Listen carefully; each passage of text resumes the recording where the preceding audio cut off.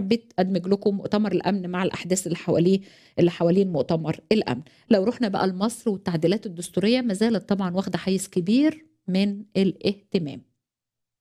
وكان في عشر أحزاب و200 شخصية عامة منهم وزراء سابقون شاركوا ببيان رفض التعديلات. كان في بيان بيقول إن إحنا رافضين التعديلات دي والبيان ده بدأ ينتشر على مواقع التواصل الاجتماعي وبطلب توقيع الناس والتوقيعات ب ب ب يعني بتنضم كلها. في أول يوم حصلوا يعني حصدوا حوالي 4000 ل 5000 توقيع ولسه مستمرين في نشره. خلينا نشوف هذا التقرير عن التعديلات الدستورية وردود الفعل حولها. معارضة تعديلات الدستور المصري تتزايد يوما بعد يوم. وآخرها حملة لجمع توقيعات شعبية. رفضا للتعديلات. الحملة تم إطلاقها اليوم بتحالف ضم عشرة أحزاب بالإضافة إلى أعضاء من لجنة الخمسين التي صاغت الدستور الحالي. ونحو 200 شخصية عامة منهم برلمانيون ووزراء سابقون وحقوقيون وأكاديميون وفنانون وصحفيون. لا يمكن القائمون على الحملة أعلنوا رفضهم التام للمساس بالدستور. واعتبروا التعديلات هدما للعقد الاجتماعي الحالي بالبلاد. ومن الأحزاب التي وقعت على البيان أحزاب الإصلاح والتنمية والتحالف الشعبي الاشتراكي والدستور والكرامة والمصري الديمقراطي والوفاق القومي ومصر الحرية والعيش والحرية. وشهد حزب المحافظين استقالات بعد خلافات داخلية حيث أعلن بعض الأعضاء تأييدهم للتعديلات بالمخالفة لقرار الحزب. على صعيد آخر تم تداول خطاب داخلي منسوب لمجلس إدارة نادي قضاة مجلس الدولة. وصف تلك التعديلات بأنها اعتداء على استقلال القضاء بوجه عام كما أنها أفرطت في النيل من مجلس الدولة بصفة خاصة. دوليا بدأت أصداء التعديلات في الظهور ولاقت التعديلات انتقادات دولية حادة. حذرت صحيفة واشنطن بوست في افتتاحيتها من أن المصريين ينتظرون 15 عاما حالكا من الاستبداد. وأن ذلك هو ما يهدد الاستقرار على المدى الطويل. أما مجلة Foreign Policy الأمريكية فقد انتقدت القادة الغربيين لأنهم يشجعون الدكتاتورية وليس الديمقراطية في مصر بحسب المقال. السيد الرئيس. وكان 16 برلمانيا فقط. حتى الآن قد أعلنوا رفضهم التعديلات بالجلسة العامة أمس الأول واعتبروها انتكاسة وعودة. لوضع هو أسوأ ما كان عليه قبل ثورة يناير. كما جاء على لسان النائب أحمد طنطاوي. وما زالت الأنظار تترقب. ما سيحدث في فترة النقاشات التي ستمتد لنحو شهر ونصف على الأقل. ما يترك المجال لاحتمالات شتى. ينضم إلينا من القاهرة عبر الهاتف علاء الخيام رئيس حزب الدستور. ده يمكن كان تقرير عن كمان الصحف ال- يعني اللي خلانا نعرض التقرير ده كمان كان إنه في بعض الصحف وردود الفعل على موضوع التعديلات.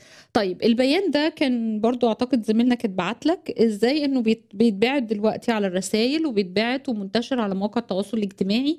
والمفروض إنه آه، إنك أنت لما بتفتحه بتلاقي إنه آه، مكتوب إيه الأسباب اللي هم رافضين علشانها التعديلات الدستورية. وبعد كده بيكون مديك ال- إنك أنت لو عايز تشارك تمضي وتكتب اسمك وتكتب أنت من فين يعني من القاهرة من أي مكان بالظبط. معانا الموضوع المفروض ال- آه، كانت زميلتنا بعتته لكم آه، زمايلي.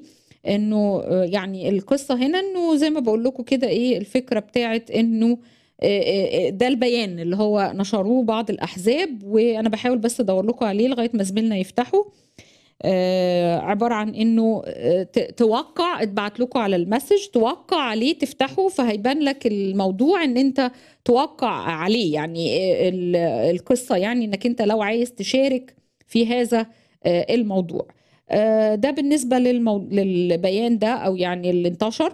على الجانب الآخر بدأت مواقع التواصل الاجتماعي يجيبوا تصريحات قديمة كانت للرئيس مكتوب يعني لا للتعديل الدستور وإنه زي ما بقول لحضراتكم اهو لما تفتحوه بتلاقوا البيان اللي اتكلموا عنه منذ منذ قليل ومين هي الأحزاب اللي كاتبة إنه آه، اللي اشتركت؟ أحزاب ال- الاشتراك المصري الإصلاح والتنمية التحالف الشعبي الاشتراكي الدستور الكرامة المصري الديمقراطي الوفاء القومي مصر الحرية. وفي أحزاب تحت التأسيس وفي وفي آه، أعضاء كمان من لجنة الخمسين. آه، آه، أحمد عيد خالد يوسف طبعا والمواويل بتاعته عبد الجليل مصطفى عمرو صلاح محمد سامي ومحمد السيد عبلة فنان تشكيلي وزراء سابقون أحمد البرعي حسام عيسى عمرو حلمي كمال أبو عيطة وفي برضو التوقيعات بقى.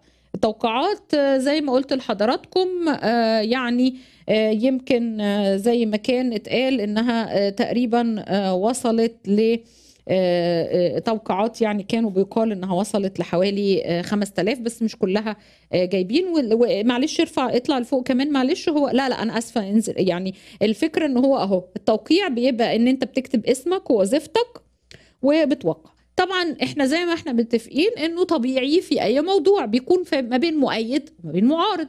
أعتقد إن إحنا متفقين على ده في كل الموضوعات اللي إحنا بنناقشها معاكم. فبالتأكيد في مؤيدين للتعديل الدستوري طبعا وشفناهم وفي البرلمان وبيناقشوا التعديلات دلوقتي واللي وقعوا على طلب التعديل واللي موافقين دلوقتي طبعا في البرلمان ما عدا الجزء فاكرين لما قلت لكم هم حوالي 17 بس اللي رفضوا التعديل من البرلمان والباقيين كلهم. فأنا عندي ناس مؤيدة للتعديل عندي ناس كتير في الشارع عندي استفتاءات كانت اتعملت في في بعض المواقع الإخبارية ولقينا نسبة 60% موافقين على التعديلات. فاذا الأمر هنا إنه انا إحنا لا مع ولا ضد حد ولا إحنا معانا يعني إحنا بنعرض وجهتي النظر. ليه اللي رافض رافض وليه اللي مؤيد مؤيد؟ نيجي بقى للي هم مش مؤيدين للتعديلات. بدأوا ينشروا على مواقع التواصل آه، عبد العال 2016 آه، وعبد العال علي عبد العال 2019 عشان تشوفوا بس. في 2016 كان بيتقال إيه لما كانت في بعض ال- الأصوات كده اللي بتتكلم عن تعديل مادة الرئاسة.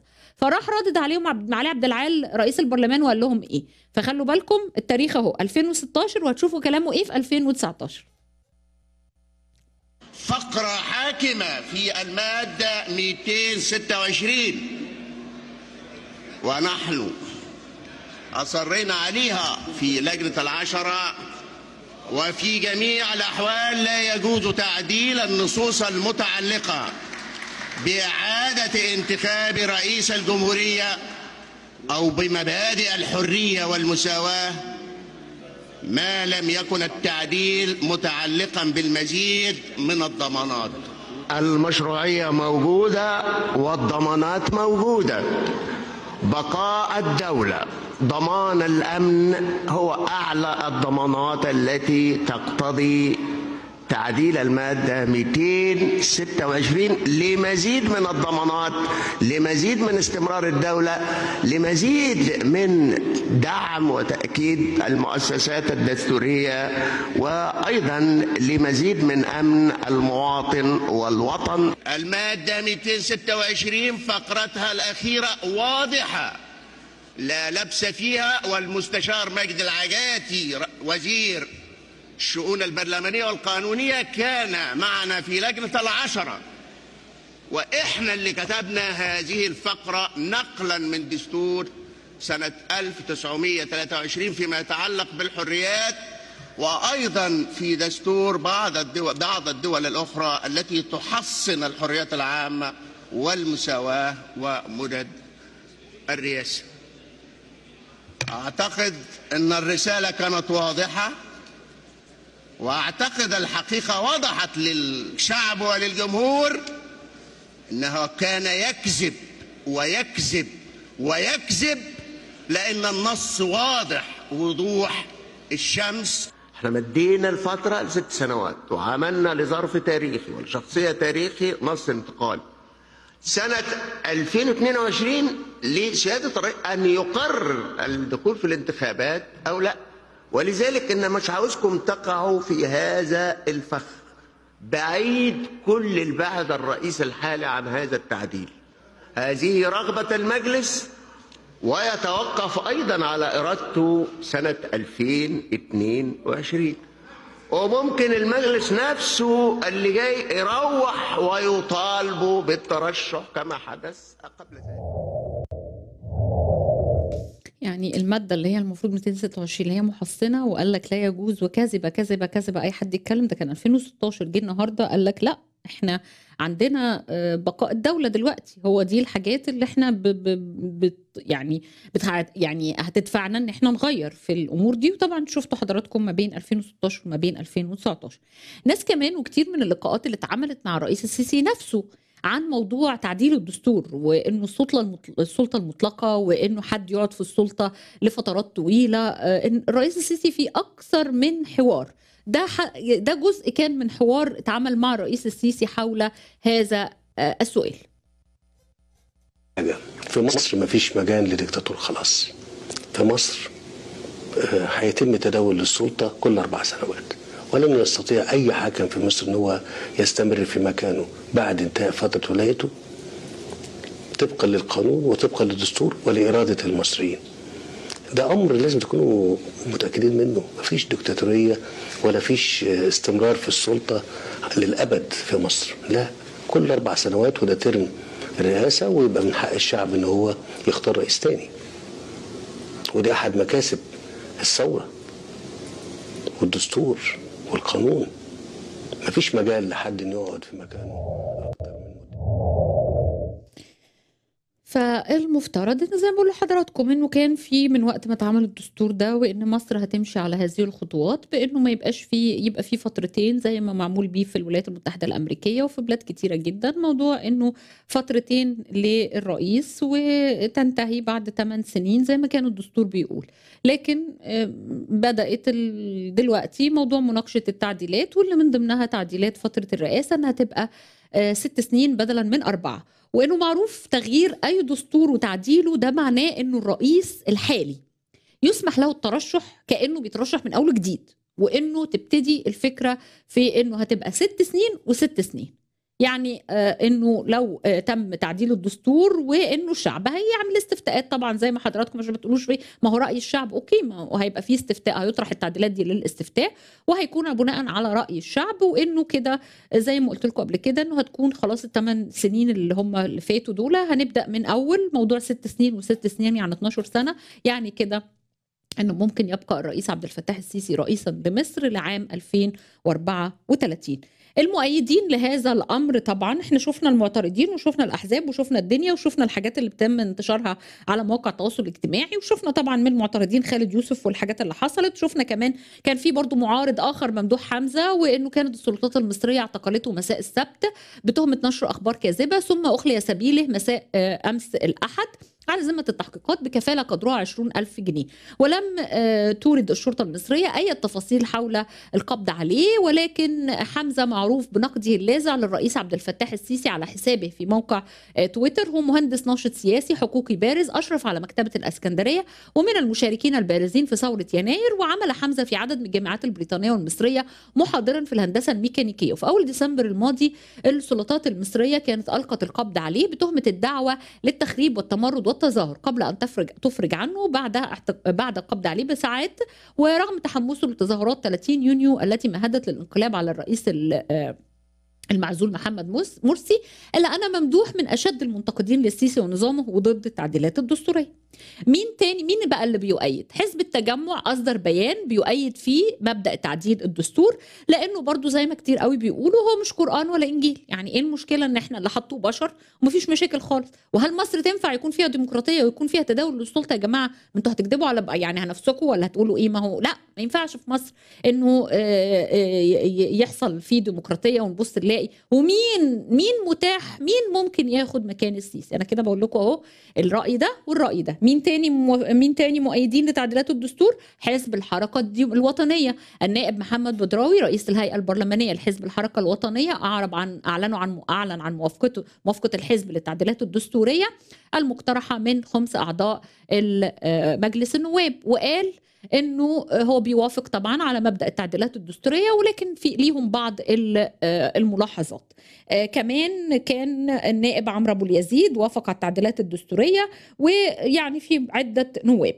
كمان آه، آثار جدل شوية. موضوع برضو إنه آه، أبونا مكاري يونان في آه، برضو كان تحدث على إنه موضوع برضو ان الدستور ما فيش مشاكل إنه يتعدل إن هو مع تعديل الدستور. زي ما بقول لكم يعني كتير جدا أيدوا التعديل وكتير تاني أو يعني غالبا هتكون نسبة حكاية آه، 60 40 70 30 عموما المؤيدين للتعديلات ولبقاء الرئيس السيسي لأنه ما فيش بديل. مصر مش هينفع فيها ديمقراطية. الرئيس عمل إنجازات كتيرة وأنتم مش معقول مش شايفين الانجازات وإنه 8 سنين دي فترة صغيرة قوي عليه المفروض إن هو آه، يستمر. فده كان من ضمن اللي اتقال زي ما قلت لحضراتكم كان أبونا آه، مكاري يونان. وهنسمع برضو ده كان برضو طبعا آثار جدل كبير قوي وانه موضوع إنه يتقال لي امور سياسية في العظة. ولكن طبعا ناس تاني قالوا أبونا مكاري مواطن زي أي مواطن من حقه إنه يقول رأيه. العاصمة الجبارة دي يكملها. ويكون ولايته إلى نهاية الحياة. مش يمدوا أربع سنين ولا ست سنين زي الدستور الماضي. لا ربنا يديله طولة العمر. لنهاية عمره يظل ده رأيي الخاص ده رأيي الخاص.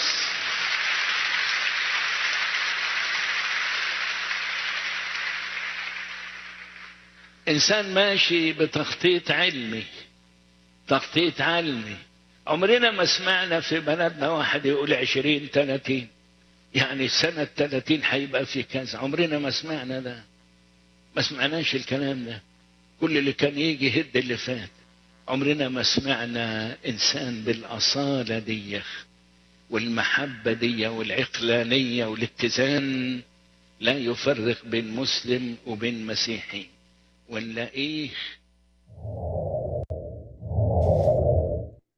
بكده الموضوع عرضنا على حضراتكم من هم المؤيدون للتعديل الدستوري والبقاء الرئيسي حتى نهاية العمر ومن الرافضون للتعديلات الدستورية وإن هم مع تداول السلطة.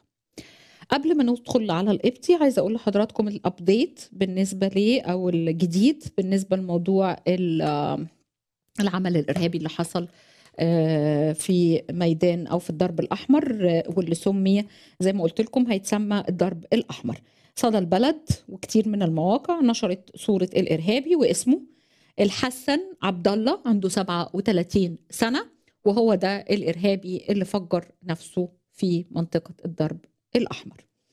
آه، دي ده الجديد. برضو بنحاول نطمن على المصابين. كان أعتقد في آه، فيديو برضو وزير الصحة لا آه، محافظ ال- القاهرة أو حد من المسؤولين ووزيرة الصحة كمان. طيب ظهروا المصابين وبيتقال ان المصابين خمسة وكان في إحدى المواقع نشروا عفوا إنه من ضمن المصابين إيطالي رغم إنه كان بيان الداخلية بيقول إن مفيش مدنيين في المصابين. فعموما زي ما قلت لكم كده إن إحنا يعني بنحاول نشوف الأخبار. فكانت آه، وزيرة الصحة تتفقد مصابي الحادث الإرهابي بمستشفى الحسين وإن هي آه، ال- واللواء خالد عبد العال محافظ القاهرة وتم نقلهم لمستشفى الحسين الجامعي وطبعا بيطمنوا آه، عليهم. يعني ما أعرفش إذا كانوا زمايلنا بعتوا بالظبط دلوقتي المصابين اللي اتقال إن هم خمسة وفي بعض المواقع أكدت أو بعض الق- القنوات كمان أكدت على إنه آه، إنهم خمسة وإنهم حالتهم مستقرة وإنه آه، يعني آه، مش بس من أمناء الشرطة. الدستور قال برضو التحفظ على كاميرات المراقبة وكان في أهو بالأسماء مصاب انفجار مصراوي كان بقى كاتب أهو الخبر بالأسماء. آه، حصل مصراوي على أسماء المصابين في حادث انفجار عبوة ناسفة أثناء مطارده قوى أمنية لعنصر إرهابي متورط في استهداف قول أمني بميدان الجيزة. المصابون هم محمد سالم سليمان 32 سنة معاون مباحث الجمالية. وضابط شرطة أحمد محمد فاخر 38 سنة. وعقيد شرطة شهاب مرتضى آه، حلاوتهم زينهم إبراهيم 44 سنة. وحسن محمد محمد 16 سنة.